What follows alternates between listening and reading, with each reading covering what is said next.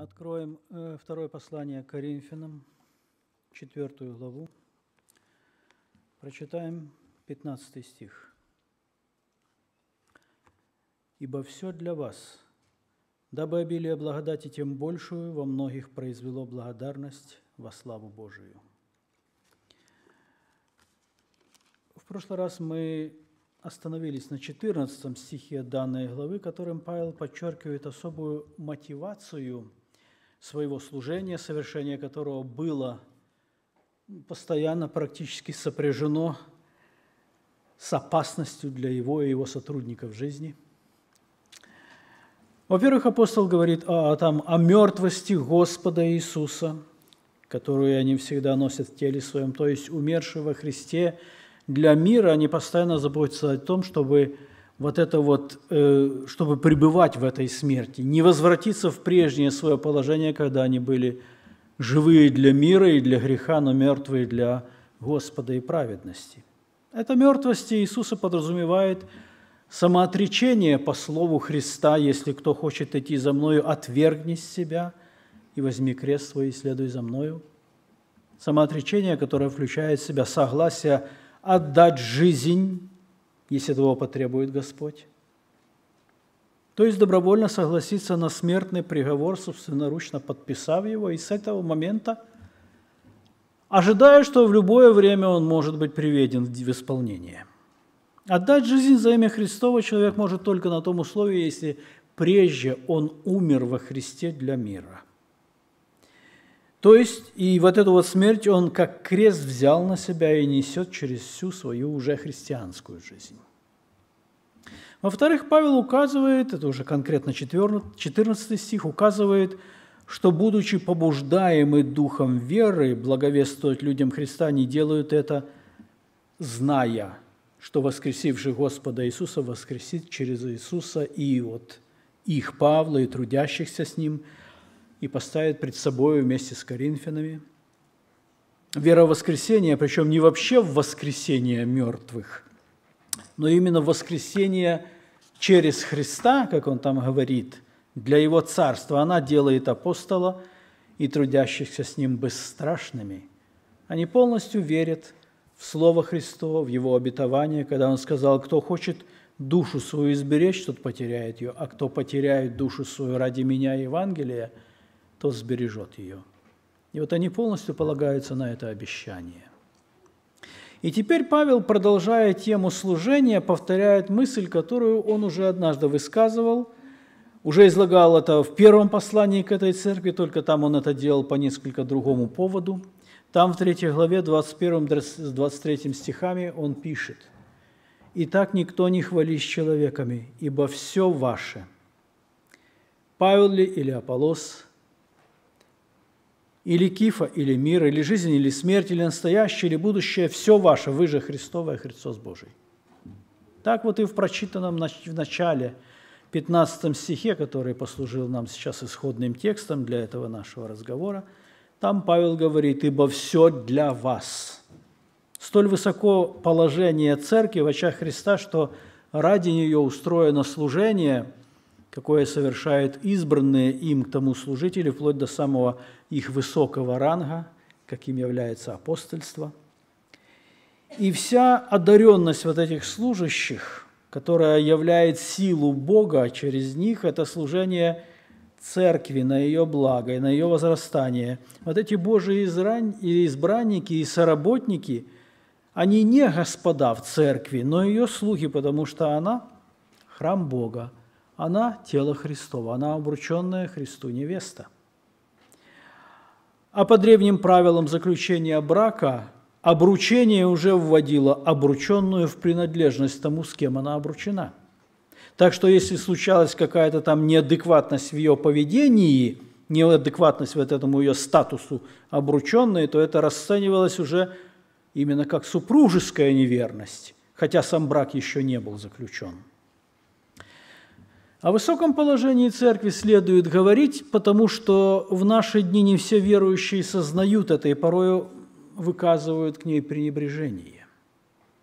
Некоторые так называемые верующие, ну, считая себя чем-то обиженными, даже не стесняются в суд на церковь подавать, чтобы светская судебная власть решала внутрицерковные вопросы и указывала бы церкви, как ей надо поступать, какие решения принимать. Это не имеет в данном случае значения, что речь идет о тяжбе такого верующего с отдельной только поместной общиной, потому что она в данном случае, когда дело идет в ситуацию вмешивается власть, она представляет всю церковь. Такого рода поступок превращает человека просто в гонителя церкви. И подобная борьба за правду в кавычках, она божественного благоволения не заслужит. Если даже что-то произошло, и община не смогла принять достаточно правильного решения, то с этим оказавшийся обиженным должен обращаться только к Господу, которому принадлежит церковь, и ни к кому более – если же человек задействует мир сей в конфликте с поместной общиной, эти его действия сразу обращаются в его тяжбу с самим Богом, потому что церковь Богу принадлежит. Это его, она его собственность. Она не относится к этому миру, не принадлежит ему. И эти действия, судящиеся с церковью, однозначно ставят в этом конфликте на сторону мира – враждебного церкви, а не на сторону Бога. Итак, Павел говорит, имея в виду свое служение, своих сотрудников и всю вот эту их самоотверженность в их служении, он говорит, ибо все для вас. И тут же объясняет цель вот этого всего, что для Коринфяна в их лице для всей церкви – Э, дабы обилие благодати тем большую во многих произвело благодарность во славу Божию. Это 15 стих, который мы прочитали. Обычно говоря о служении и его целях, мы более всего останавливаемся на вопросах духовного развития церкви или отдельного верующего, на возрастании, коему должно способствовать служение, на восполнении, наконец, даже житейских нужд церкви – это верно. Павел прямо об этом говорит в послании к Ефесянам. Мы часто вспоминаем это место, где он говорит, он поставил одних апостолами, других пророками, иных евангелистами и так далее. Перечисляет, и все для созидания тела церкви. Доколе все придем в единство, веры, познание, чтобы мы не были там младенцами и так далее. Это Ефесянам 4, 11, 15. Но вот здесь в разбираемом 15 стихе, вот в этих словах – апостол э, все вот это назначение служения, он как-то опускает, он не говорит на нем, о нем. Он сосредотачивает внимание только на одной цели служения – прославление Бога. Потому что насаждение имеет целью его плод, ради которого оно посажено. Духовное возрастание верующего человека подобным, подобным же образом должно нести в итоге угодный Господу плод – мы э, процесс этого возрастания более привыкли рассматривать с точки зрения, ну, как сказать, нашего блага. Как наше приготовление к вечности, как обретение обетования в их полноте, для этого мы растем, небесная обитель, венцы, небесное сокровище и так далее. Даже и духовный плод мы рассматриваем более как оправдание дарованного нам Бога, Богом дарования – чтобы войти в радость Господина нашего, когда Он вернется и не оказаться в положении вот того зарывшего свой талант раба и не унаследовать его участь. Вновь мы видим все это во свете, опять же, нашего блага. Что мы с этого будем иметь? Действительно, все это во благо нам, и обители, и венцы, и прочее, оно на своем месте. Но полезно взглянуть на себя именно как на насаждение Божие, которое Господь зачем-то насадил в своем винограднике, и мы знаем зачем, для плода, которого он от нас ожидает. Этот плод для него приятный и желанный. Не следует этот плод рассматривать как нужное нам для нашего добра, Господу в принципе все равно. Не все равно. Вот в 49-м псалме 14 стиха сказано «Принеси в жертву Богу хвалу, и воздай Всевышнему обеты Твои, и призови меня в день скорби, я избавлю тебя, и ты прославишь меня. Вспомним также благодарственную жертву Ноя по выходе из ковчега, оказавшуюся столь приятным Богу благоуханием, что Господь пообещал больше не истреблять потопом грешное человечество. Хвала, благодарность, слава – все это для Бога желанно, этого Он ожидает. И мы ничем не можем Его обогатить, потому что все от Него, все в Его руках, Он все содержит своей силой, своей премудростью. Но приношение уст наших – это то, что ценно в Его очах, и для славы Его мы, собственно, и созданы. Только действительную ценность оно имеет для Господа в том случае, когда оно исходит из нашего сердца. Мы как-то говорили, что приятность жертвы Ноя для Бога обуславливалась тем, что Господь ничего Ною об этой жертве не говорил. Он не давал никаких предписаний, когда выйдешь из ковчега, сделай мне жертвенники, принеси там во всесожжение животных. Вышедший из ковчега этот праведник просто испытал чувство глубокой благодарности спасшему его при виде вот этих последствий страшной катастрофы, которая смыла грешное человечество с лица земли. И вот эта сердечная благодарность, двигавшая им, когда он сооружал жертвенники, приносил на нем чистых животных, она-то была воспринята Богом как приятное благоухание. А Дым от сожигаемой жертвы был только внешним выражением этого сердечного духовного благоухания, которое было приятно Господу. И в приношении уст наших Господь усматривает ценность в том случае, если оно точно соответствует нашему к Нему отношению, если оно поистине выражает наше к Нему отношение. Хвала, благодарность, прославление прежде всего должны родиться в нашем сердце – и качество всего этого стоит в зависимости от нашей Господу любви. То есть речь о наибольшей заповеди. И когда дитя Бога отвечает ему любовью на его любовь, это то, чего превыше всего желает увидеть от нас Господь, и вот это драгоценно в его очах.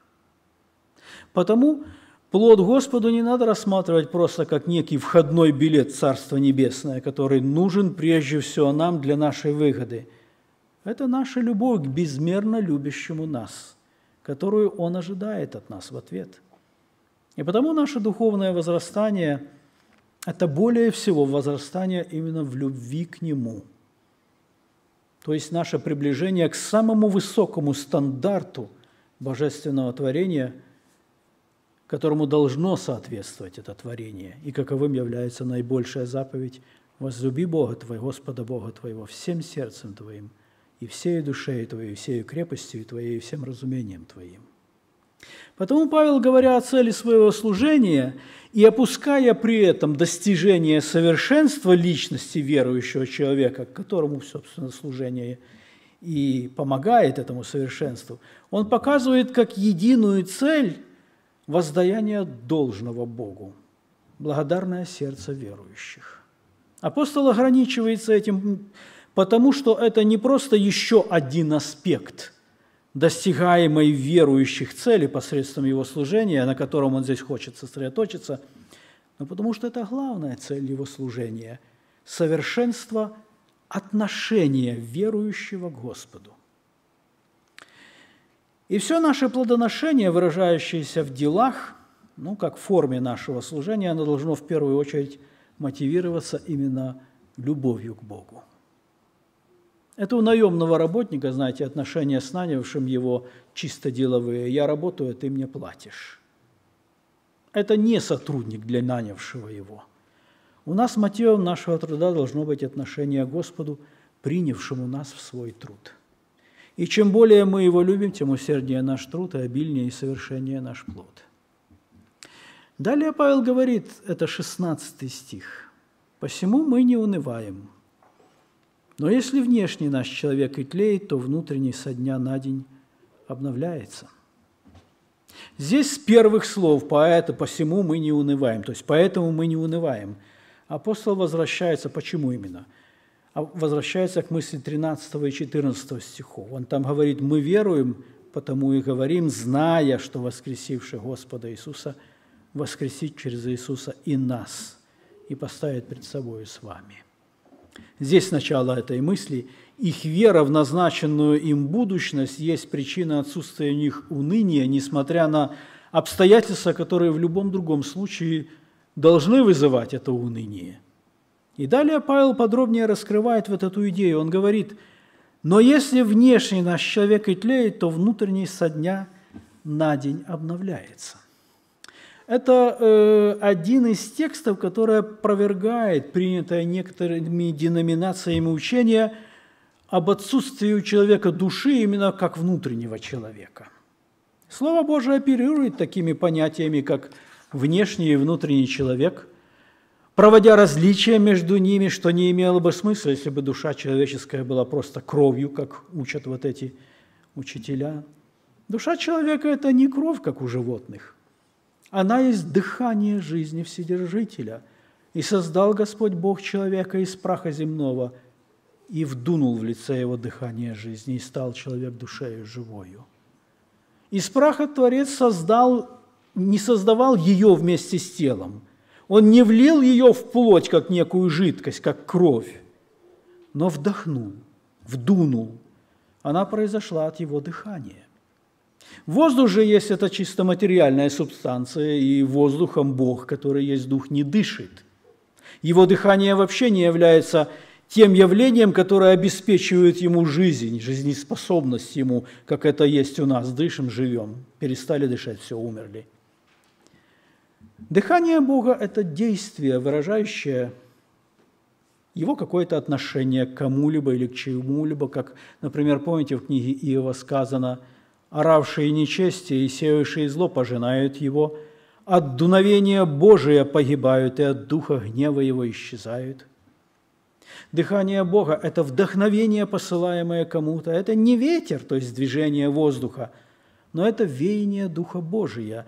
И потому душа человека, которая вошла в плоть Адама в результате вдохновения Господа, она нематериальна, она не может обратиться в прах – она по своей природе является духом, а не плотью и кровью. Будучи же соединена с духом и через дух с Богом, она развивается в противоположном телу направлении. Тело тлеет, душа обновляется в таком случае.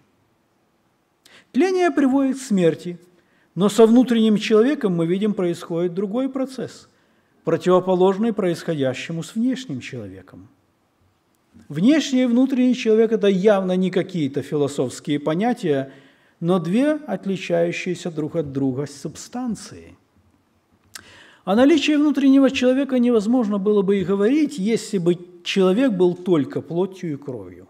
Тело и циркулирующая в нем кровь не является по отношению друг к другу какими-то разными явлениями, разными субстанциями, и то, и другое есть явление материальное – и переживать процессы, идущие в разных направлениях, они не могут. И то, и другое наследует тление, потому что они составляют в человеке единую субстанцию.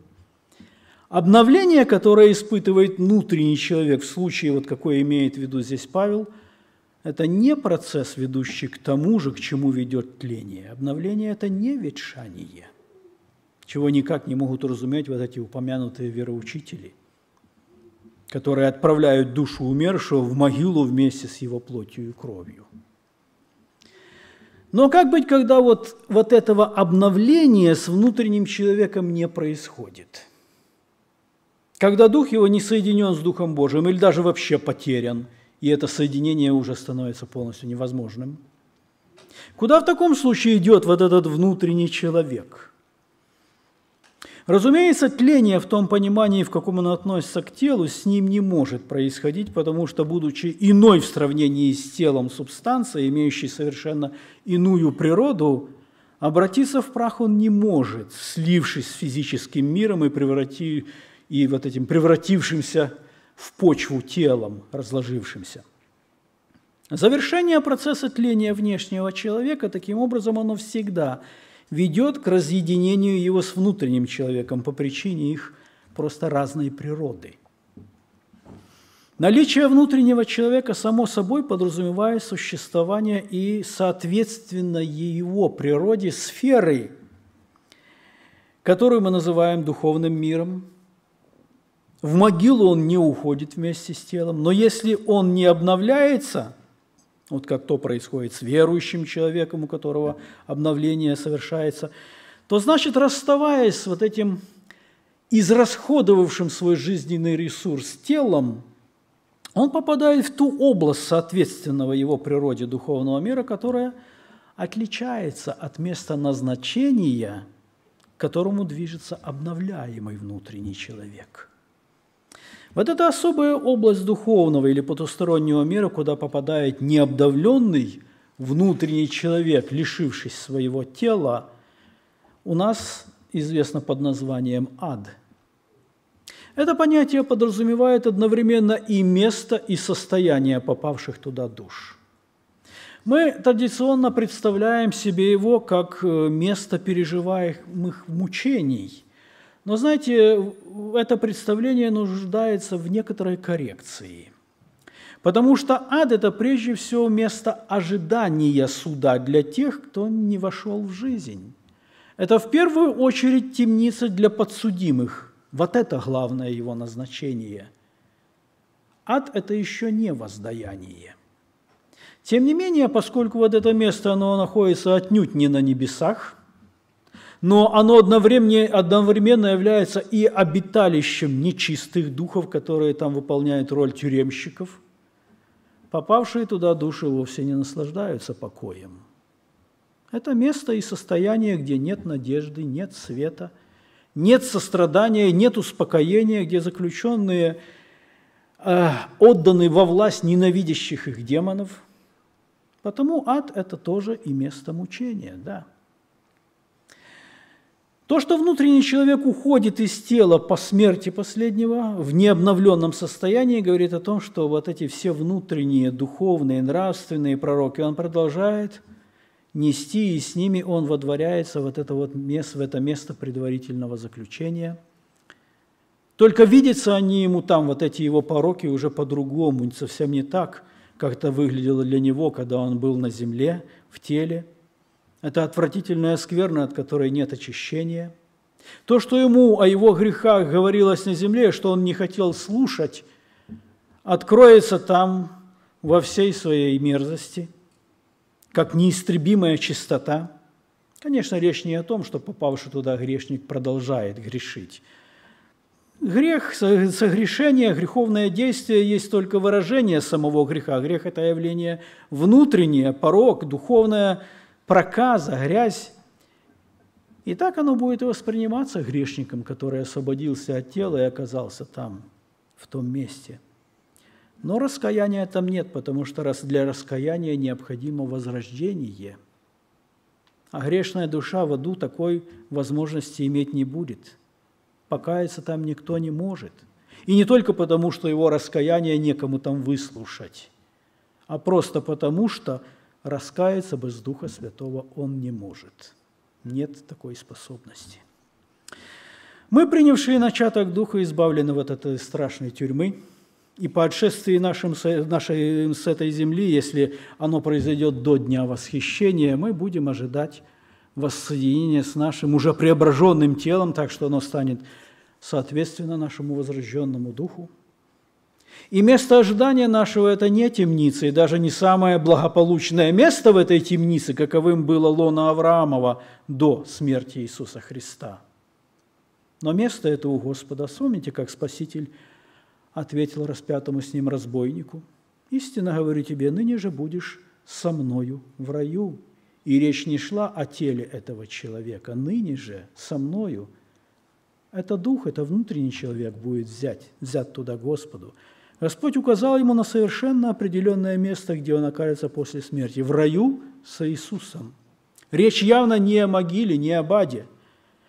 Начаток Духа, который обитает в нас – есть залог наследия нашего, наследия в небесах, который гарантирует нам блаженное ожидание усыновления тела нашего после его смерти, а не ожидание суда вместе с нечестивыми.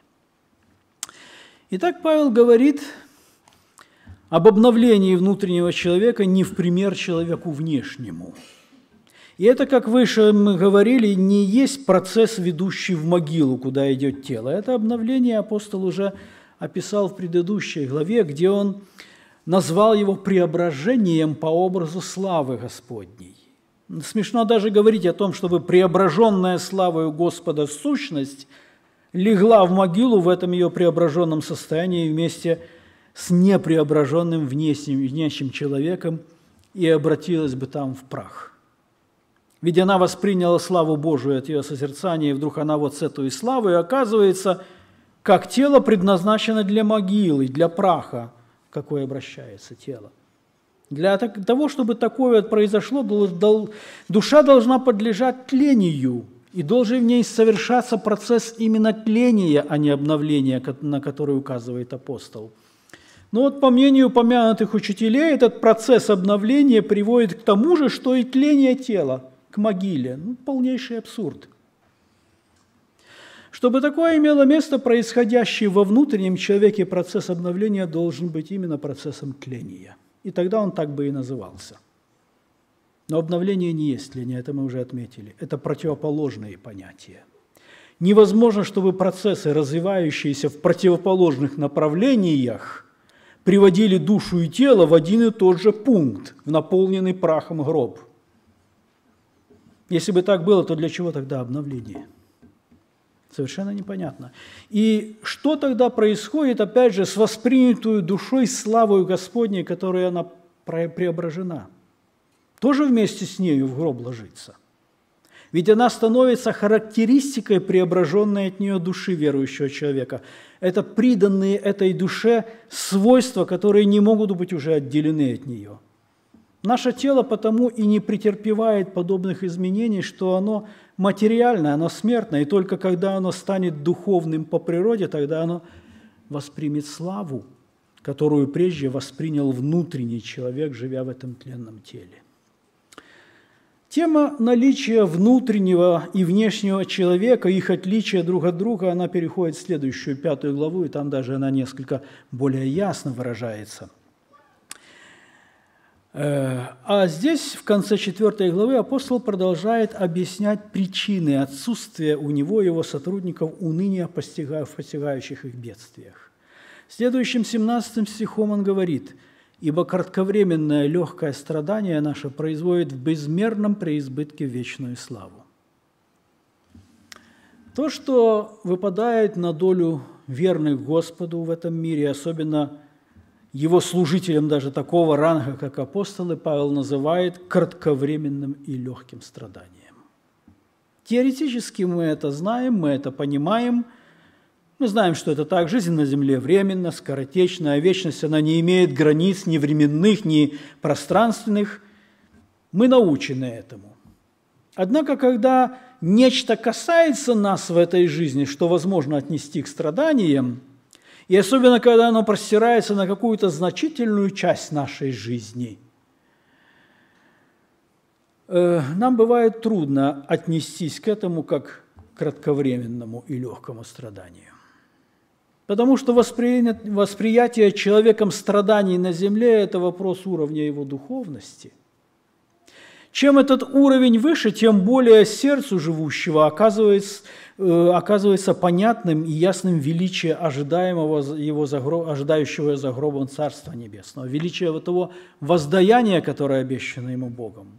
С духовным ростом верующий обретает все большую ясность его духовного зрения, которому доступно то, что невидимо телесным очам – чем выше поднимается верующий, чем менее, тем менее значение имеет для него то, чем обычно люди дорожат в этом мире, включая даже собственную жизнь, ее комфорт, благо, здоровье. Все это обесценивается во свете возрастающего разумения самим сердцем грядущего, приходящего на смену вот этому временному. Все более такой человек, именно с точки зрения открывающегося ему вечного – оценивает настоящее, естественно, оказывается оно в его глазах все менее и менее значимым и менее ценным для него. Есть разница между восприятием вечного и временного у человека, наученного вот этому отличию, и человека, который начинает видеть эту разницу своим сердечным зрением.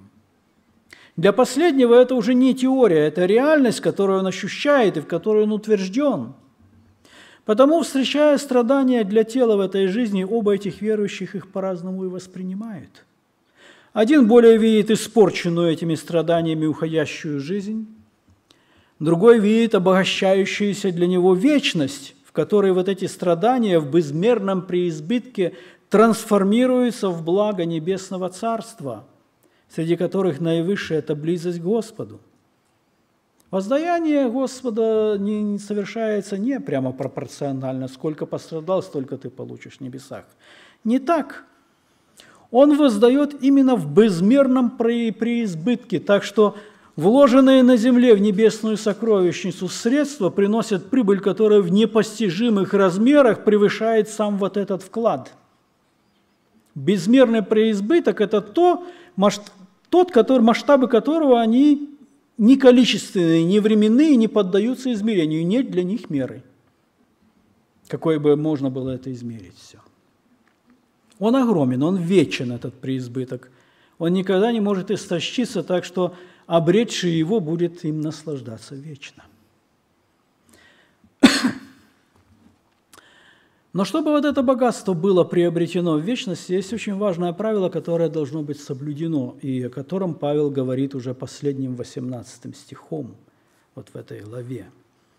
Он говорит, что вот эти кратковременные, легкие земные страдания производят такое великое богатство только в одном случае, когда мы смотрим не на видимое, но на невидимое, ибо видимое временно, а невидимое вечно. И других случаев, когда бы могло иметь место то же самое, апостол не называет. Что значит смотреть на невидимое? Вот в послании к евреям в 11 главе сказано, «Верую Моисей, пришед возраст, отказался называться сыном дочери фараоновой, и лучше захотел страдать с народом Божиим, нежели иметь временное греховное наслаждение, и поношение Христова почел большим для себя богатством – нежели египетские сокровища, ибо он взирал на воздаяние. То есть Моисей оценил действительность с точки зрения вот этого воздаяния, на которое он взирал, и потому его выбор был именно вот таким, какой мы знаем. Вечность – это вот тот компонент, который отсутствует в подсчетах человека этого мира, стоящего перед определенным выбором в жизни, так что заставляет вот это отсутствие заставляет его ошибаться в его выборе. Но взирать на невидимое невозможно глазами, как, какими снабжено, наш, снабжено наше тело, потому что они предназначены для восприятия только материального, только видимого, не более. Этот инструмент не подходит для созерцания духовных явлений и объектов. Видеть невидимое можно только очами веры, которые не у плоти – и таким образом, только когда верующий человек переносит страдания, смотря на вот это невидимое, то есть когда наличие вот этого невидимого составляет для него, во-первых, совершенную истину, он уверен в нем, и, во-вторых, главную ценность, то есть когда оно является мотивом для его согласия с тем, что ему предстоит понести в земной жизни, так что он избирает страдания ради того, чтобы сохранить в своем владении – и приумножить в это небесное достояние, вот в этом случае срабатывает закон, о котором говорит здесь Павел. Земные бедствия трансформируются в небесное сокровище. Какие-то иные мотивы или причины, присутствующие в том, что человек переносит в жизни, они не приведут к этой трансформации. Если человека бьют за проступки, достойные наказания, то как бы он ни перенес это страдание по плоти, а ожидать это его превращение там в какие-то небесные дивиденды не стоит. Ибо что за похвала, если вы терпите, когда вас бьют за проступки? Это вопрошает апостол Петр в своем первом послании. Тут, конечно, может возникнуть вопрос. Ну, допустим, у Моисея был выбор, страдать с народом Божиим или нет – у Павла то же самое. Он мог ценой компромисса с миром избежать того, чем ему этот мир все время воздавал за его деятельность. Но как быть, когда человек ну, просто не может выбрать, страдать ему или нет, когда его какой-то недух посещает, от которого он уже не может уклониться? Оказывается, и тут есть выбор, как именно воспринять постигшее – Потому что можно страдать и при этом категорически отказываться соглашаться с тем, что тебя постигло, ропщая, обвиняя судьбу. И такое может происходить с верующим человеком, когда о небесном он знает, но он весь сосредоточен на вот этом земном его бедствии, так что то, что в небесах, ну, оно не особенно греет его в такие периоды. Оно не превышает своей ценностью те жизненные потери, которые он несет в посетившем его страдании. Апостол, страдая телом, радовался, потому что он знал и видел, что, что именно Бог ему уготовил, понимая, что вместе с его страданием умножается вечная слава, какой он примет в небесах. А слава эта там стоит в зависимости от близости спасенного к престолу небесного царя. Где там его место окажется, насколько оно близко к этому престолу. Мы вспоминали в ходе разбора этой четвертой главы молитву Иисуса, записанную в Евангелии Иоанна, в которой он просит Отца о своих последователях. Он говорил, «Отче, которых Ты дал мне, хочу, чтобы там, где я, и они были со мною, да видят славу мою, которую Ты дал мне, потому что возлюбил меня прежде основания мира». Мы говорили, что Господь, когда допускает кого к видению Его славы, это не просто ради какого-то эстетического удовлетворения, это не какое-то там шоу, посмотрел, восхитился и все, это все, что человек получает от этого. Бог, когда допускает кого к этому видению, Он с ним разделяет эту свою славу это видение влияет на видящего, преображая его в тот же образ, на который он взирает. Оно безмерно обогащает его уподоблением Господу, неся переживание невиданного и непостижимого блаженства, которое никогда не кончается. Это богатство личной близости к Богу. Но все-таки, что касается именно разбираемого нами текста, в данном случае последнего стиха 14, 4 главы, надо отметить, что Павел тут не говорит конкретно о проблеме видения невидимого, как верующему смотреть, чтобы его видеть. Но он более сосредоточен на вопросе, на что верующему, живущему пока на земле, следует смотреть, оценивая действительность, и особенно когда возникающая необходимость выбирать касается страданий по плоти – Иными словами, апостол имеет в виду сказать, что страдания производят упомянутую славу в вечности, когда мы рассматриваем их с точки зрения вечности и ожидающего нам там воздаяния, и вот с этой точки зрения принимаем решения и выбираем в своей жизни, с этой точки зрения строим свое отношение к тому, что нас постигло. Конечно же, э, чтобы подобным образом смотреть на невидимое – надо его это видимое уметь видеть. Но мы об этом немножко говорили сегодня. Итак, нам необходим духовный рост, чтобы среди обстоятельств земли небесные ценности приобретали все большее и большее значение в нашем сердце, обращаясь уже из такого теоретического знания в принятую сердцем реальность. И чтобы все более и более мы направляли наши усилия на их обретение, предпочитая их земному – и не принимая в расчет благо этого мира, когда они стают хоть какой, составляют хоть какой-то противовес благам неба. И от нас требуется выбирать между тем и другим. И пусть Господь нас благословит прийти вот в этот возраст и всегда взирать на воздаяние, как Моисей, смотреть на невидимое, как делал Павел, благодаря чему и держаться вот того единственного указанного Богом пути, который ведет небеса. Аминь. Давайте помолимся.